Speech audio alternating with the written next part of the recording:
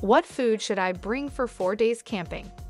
So you're going camping for four days and have no idea what food to bring. It's important to pack enough food to keep everyone fueled up and happy. Well, don't worry because I'm here to help. In this video, I will be giving you a list of food items that you can take with you on your trip.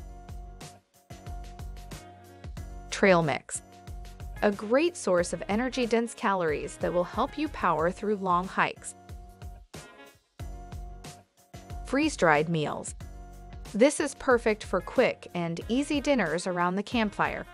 Just add water and you're good to go. Dehydrated fruits and vegetables. Lightweight and easy to store, these are great for snacking or adding to meals. Instant coffee. Because let's face it, sometimes you just need a little caffeine boost in the morning.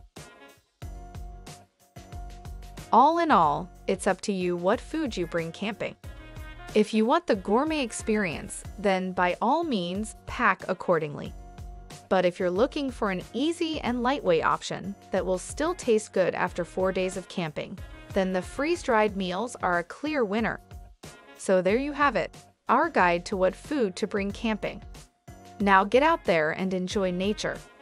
And don't forget to like, comment, and subscribe before you go.